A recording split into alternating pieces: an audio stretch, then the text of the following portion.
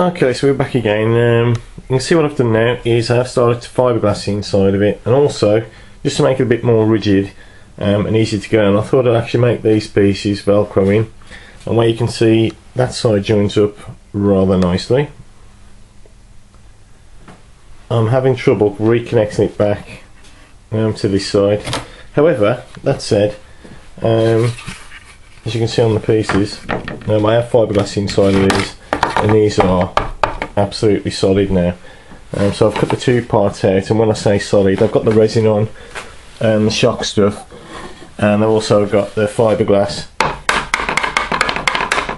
Yeah, they're absolutely solid. Yeah.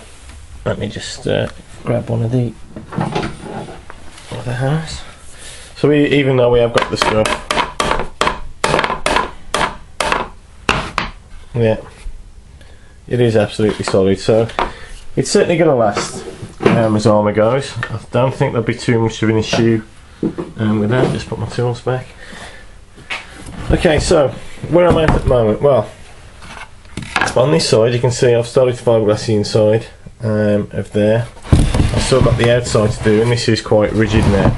Um, as I've just said, it'll take quite a quite a knock, especially the edges um, where they're a bit brittle. I've still got to do the inside of this bit, although the back is quite solid. I am just going to fiberglass some of the areas, um, and certainly around the edges.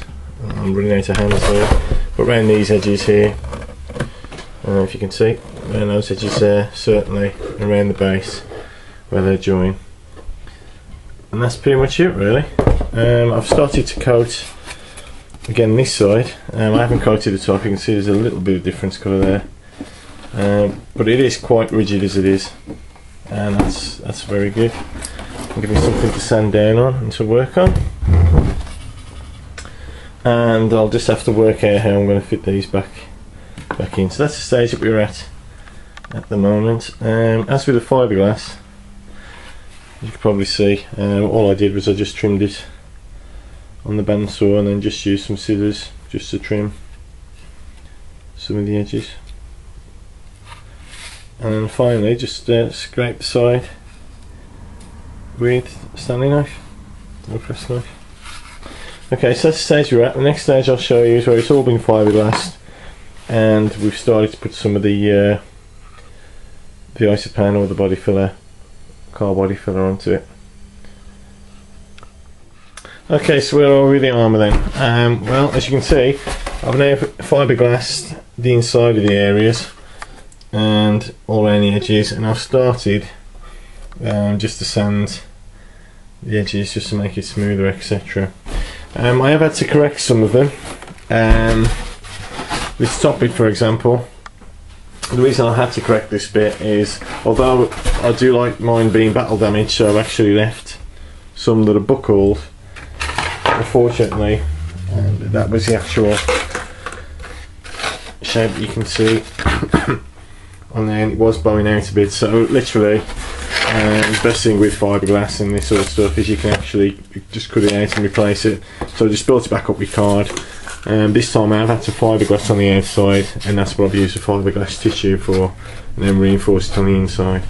You can see around some of the edges here I've got to apply some filler um, just to go around. Um, same with the edges here and there are some areas a bit at the front that I've filled in that just needs a bit of um, pan filler in there, body filler in there um, just to make it smooth um, etc. So still a fair bit of work to do on this. The other thing I've done is I've actually put, as you can see in here, is a, a hinge, and I've decided to put the hinge in um, visible. I, I, could have just um, basically just stuck it on it and, and fiberglassed over it and, and secured it with resin. But I think the bolts actually add to the features that it is actually armour. And it's a way of getting the armour on, to be honest.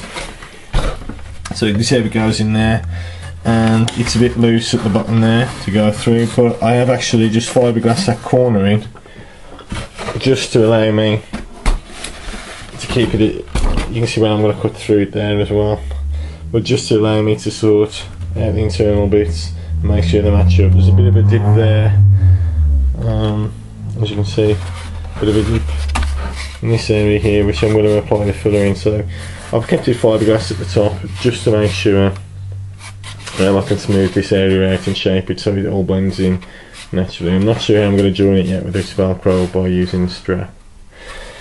So the other thing I've built in is this patch. Um, this wasn't on the original design, um, but I filled this in mainly because the area looked a bit weak to be honest around here and it didn't look um, that good. And you can probably see where the line is that it went through. So all this is a new addition again. Of fiberglass on the outside here using the tissue. Um, and then fiberglass back on the inside. You can see a bit more in detail um, on this bottom bit um, so all I did was I built this bit back up using paper the bit that I wanted um, fiberglass this bit in as well which is going to take a bit of a resin in but that should be okay. Um, it's quite weak at the moment so I've still got a fiberglass in. It and then rebuild this area up with fiberglass just to give it a bit more strength. It's still a bit weak um, at the moment there. And then that should be as solid as the other bits. And I'm just got to get rid of some of these and line it and start work on the back. What else have I got to do? Um, on this part you can see I've actually started to, to trim. So you can see how this bit will fit in. This bit will, will work on an, an hinge like the other side so it'll actually open out so we can get the uniform on.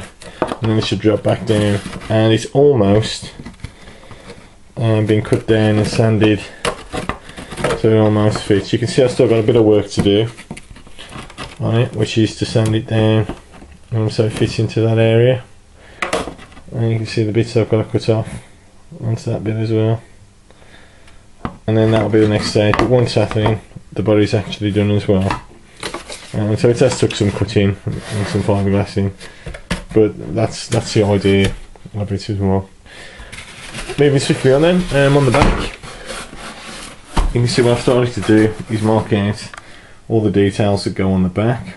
Um, so we've got little sketches I've put in there just to give me some idea what's going to go on. I'm just going to cut through those using the RotoZip um, which is a tool a bit like a Dremel tool or an engraver tool where I can drill a hole and just cut that section out. And then behind it put in the um, the details to make it look a bit more authentic. I'm also going to put some rivets and some screws in the top so it matches this bit down here so it does look like it's metallic armour and proper armour. Um, I'm not too sure about the nuts yet but we'll see how they go. We'll see how they go. Um, and that's pretty much it really. And that's the armour at the moment. Um, so like I say the next stage is cut out the recesses and to actually start putting some of the detail onto this. Once the, the recesses are cut out what I can do then is start spraying it up um, sanding it down and body filler in it just to make sure it's just ready to go. Um, all this is quite quite strong now.